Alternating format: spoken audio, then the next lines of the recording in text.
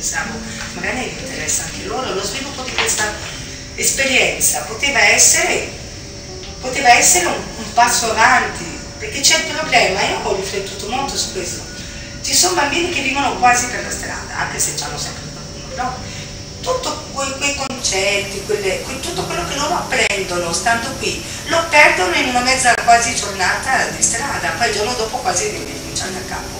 Tutto il tuo lavoro, specialmente nei tre mesi di è chiuso, quando è chiuso l'asilo di ferie, è, è, molto duro poi ricominciare di nuovo, di nuovo dobbiamo ripassare tante cose, eccetera. Okay? Ma se io, se io, avessi il tempo pieno, per esempio, fare dalle 8 alle 3 o dalle 8 alle 4, ci sarebbe tutto il tempo per le cose pratiche, anche per fare le escursioni fuori, che le facciamo ugualmente, ma allora dobbiamo rubare il tempo ad altre cose, no? Allora,